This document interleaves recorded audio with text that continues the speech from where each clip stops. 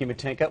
Boutique whiskey distilleries are becoming a bigger and bigger deal here in the state of Iowa and all across the country, with more and more of them popping up every day. KCCI's Kim St. Onge took a tour around the newest Iowa whiskey distillery that just opened earlier this year. Right, Kim? Hey, good morning, Katie and Steve. That's right. And I had been to beer breweries, but this was definitely my first time checking out a whiskey distillery. Uh, but Red Boot whiskey is made right here in Clive, and it just hit the shelves this month.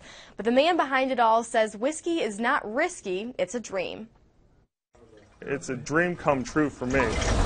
In this 1,700 square foot building tucked in a Clive strip mall, Joseph Dehner can distill as much as 250 gallons of Iowa made whiskey per month. It goes from grain to the bottle right here in this facility.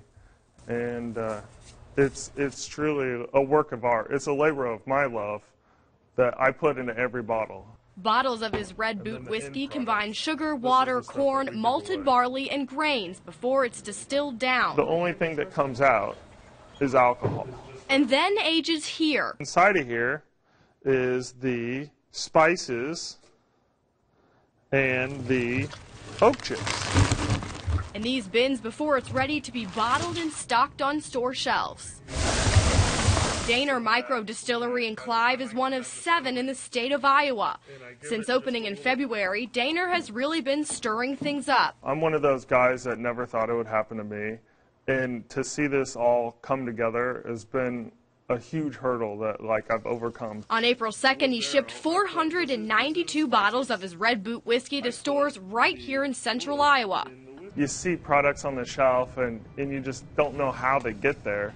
And knowing and seeing my product on the shelf, seeing what it took to get it there was uh, really uh, uh, humbling or, you know, really, really nice. It was really nice to see it there. While Dehner admits following his dream of opening his own distillery has been risky, few things can compare to being your own boss and making your own whiskey. If you're willing to do the work and put in the time, it really, any, anything really is possible.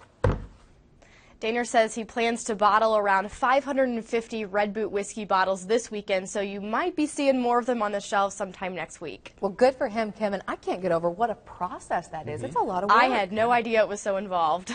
okay. Thank you very much, Kim.